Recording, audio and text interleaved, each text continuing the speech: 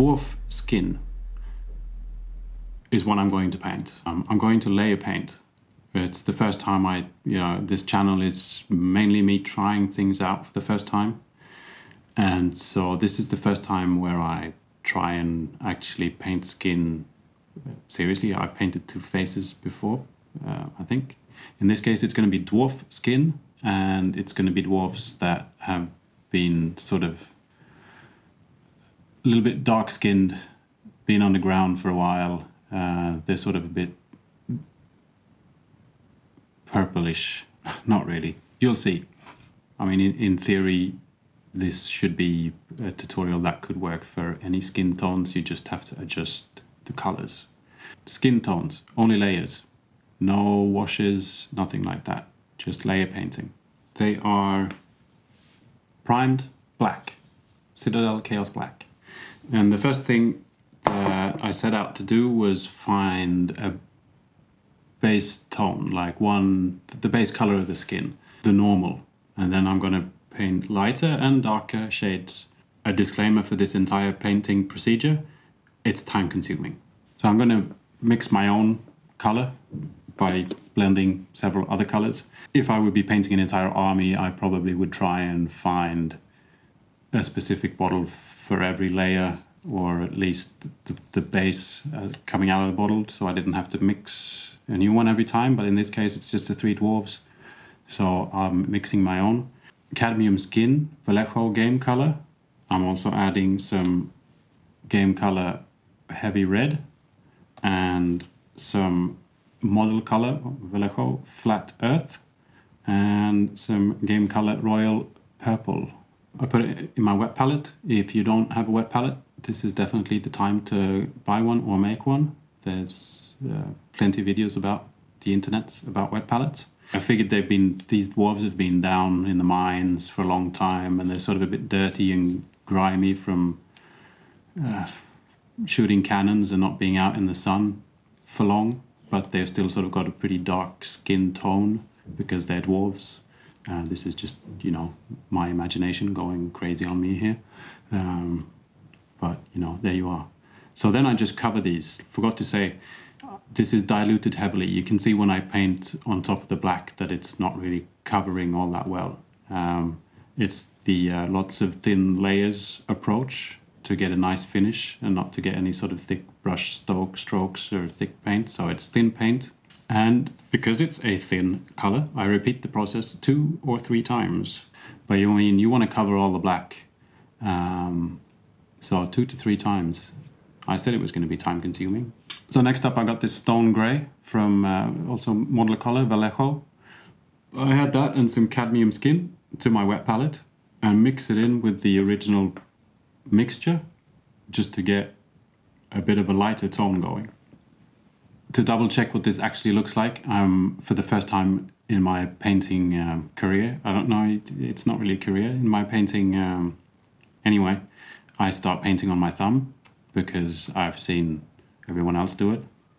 But it turned out to be a pretty good trick actually to check the differences between the, the you know, how much lighter or darker a, a color is. So I start off with the original mixture and then I paint the new, a little bit lighter shade next to it to see how big the step between them are. The new little sort of brighter mixture I made was a bit too bright. So I added in a bit more of the dark one so that the difference wouldn't be too huge.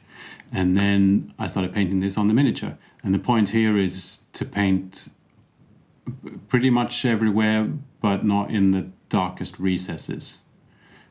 So there's no, it's not, you're not going to paint it all over it, all over everywhere again. Now we're going on to the next layer. It's going to be like a gradient.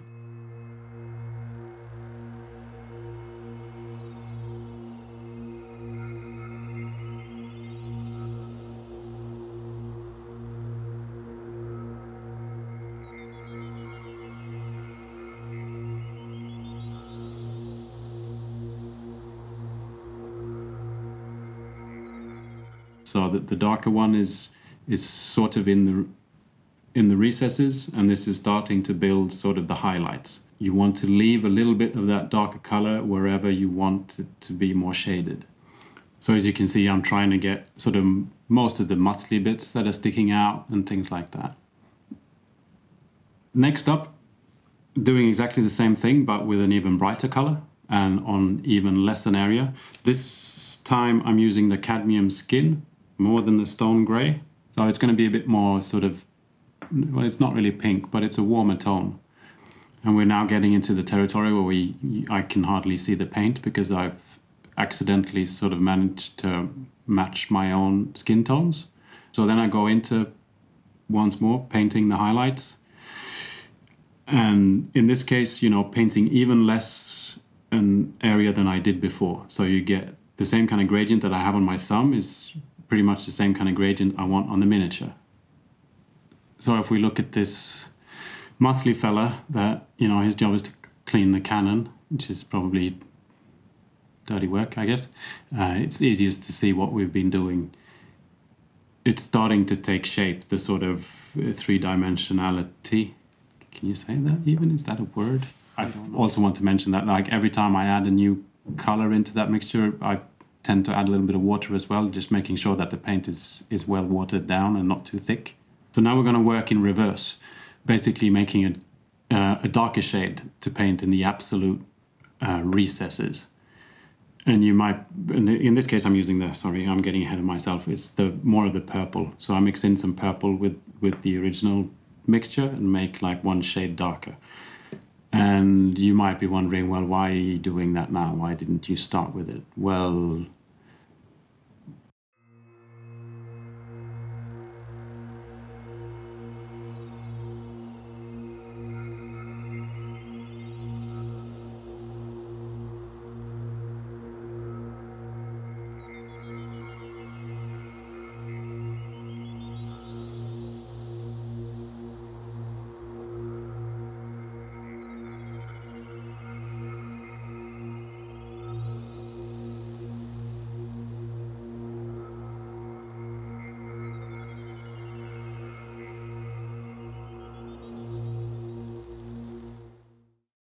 checking on my thumb if it sort of matches into my little gradient here, and then trying to do just the absolute, like, remember now you're trying to paint a surface that is even smaller than what's left of the original base color. This is starting to get complicated. And then we're back to even more highlights. Um, this time I go back to the stone gray again. I don't want any more pink in my mixture. So I add more stone gray and yeah, thinking gradient gradient again. I'm just you know, it's it's gonna cover an even smaller surface than the last uh, highlighted surface. And then guess what? I'm doing it again on even a smaller surface with an even brighter color, as long as it looks nice on my thumb. And guess what? After that, I'm doing it again. Only this time I'm using a white. Um, I don't have the bottle to show you. It's just a it's a white game color. So I'll, wait, I'll get it. Might as well do it properly. There we are, off-white, game color, Vallejo. And now we're on to doing the absolute sort of tip of things. This is like, yeah, it's just it's the smallest little sort of raised highlights, really. And there we are. That's um, that was the last highlight. I can say now, in in in retrospect, that um, I could have gone brighter on the highlights. I think the the light that I was using. Sorry, cat. What do you want? Come now. Here's the cat. So anyway, I could have used. I could have gone a little bit brighter with the highlights because I reckon the light I was using while painting was a bit bright, which made it looked a bit look it looked a bit more contrasty than than I thought it was. It's a bit of a subdued look that I kind of like. On the other hand, it's not very dramatic. It looks they look kind of real, but they could have been a bit more fantasy dramatic. I'm also going to finish off the the faces and everything. And with that means painting eyes. And yeah, that's a completely different story. I'm going to paint some eyes and they'll just have to. Ah, something that you know everyone needs to practice painting eyes, I guess. And this is so I start with the white, just try and paint only the eye with the white. But I noticed with these dwarves, I don't know if it's the same yeah, with most miniatures. I'm, as I said, um, I'm not I'm not the expert. I haven't painted all that many miniatures, but these eyes are really really tiny. It's like little slits of you know eyes. Anyway, I start with the white and just cover the entire eye, uh, and a lot more than should be covered with white. So after the white, I take black for the pupil, and instead of just doing a dot, I try and do a straight line. The trick is knowing where to put the straight line. I find that it's very easy to make people look completely crazy. You know, where is where is he? You know, is yeah. The good thing is you can always just try and paint white over it and do it a couple of times. So obviously you would have had, you know, you've been smudging around um, with white and black. So once you're done with with the eyes, whatever way they're looking, and if they look crazy or not, you go back with whatever highlighted color you've got or whatever and, and touch up around it. And in the end, this is what the eyes look like. Some of them, like mostly they look alright if you look at it from just one side. If you look straight on, like one of them looks okay. But it's a bit of a, there goes the cat. It's a bit of a skill. I, I realize you can make someone look sort of angry or happy or mad. Maybe not happy, but, or you can definitely make someone look a bit crazy, depending on how you paint the eyes. Uh, and this is the easiest way, just the white with the black line. I guess if you get advanced, you can actually uh, do lots lots of things with eyes, but this is this is on my level. So then I'm just going to uh, paint some more things in the face, just to give it a bit more character. I prepared with a, I'm not going to use it straight away, but I got dark red um, that I'll be using for the face. Also adding, uh, if I haven't already added it to my wet palette, some more purple. Basically, I want to make it a bit more darker under the eyes, a bit sort of purpley. I want them to look like they've not slept for a while because they're busy shooting their cannon. Uh, you know, what can you do? And they've also been toiling in the mines or whatever, uh, whatever dwarves do.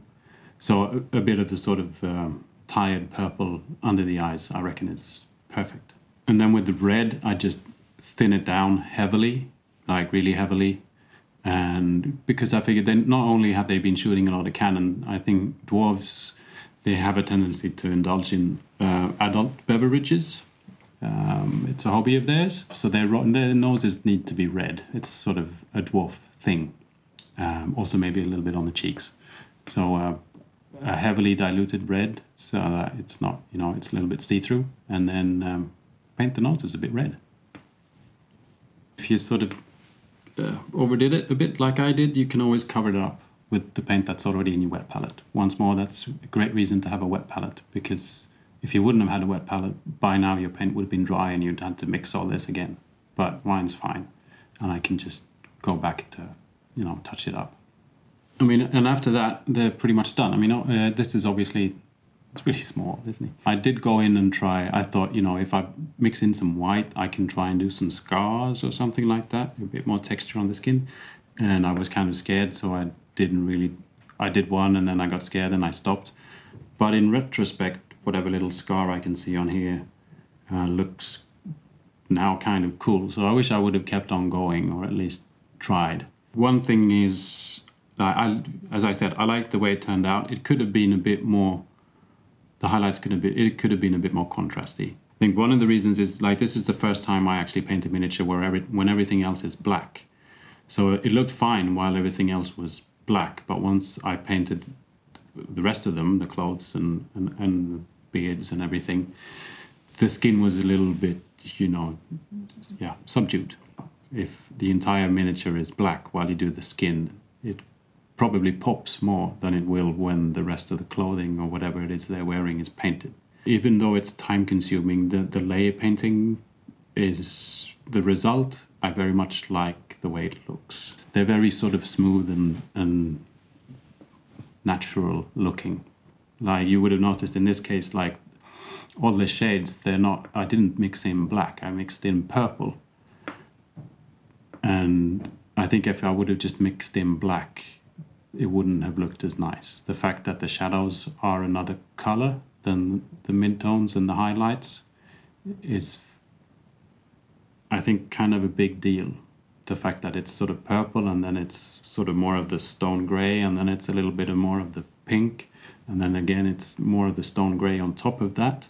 It adds a depth that would not have been able if I just sort of did one color, uh, used a wash, and then tried to paint highlights by just mixing in a white into the base color. So um, I know it's time consuming and it's kind of fiddly, um, not really good for shaky hands, even though I sort of have shaky hands, it did work out. Um, but I very much recommend you to try, at least with one miniature, this, this time consuming way just to see the result uh, if you have the patience. And um, thanks for watching. Bye.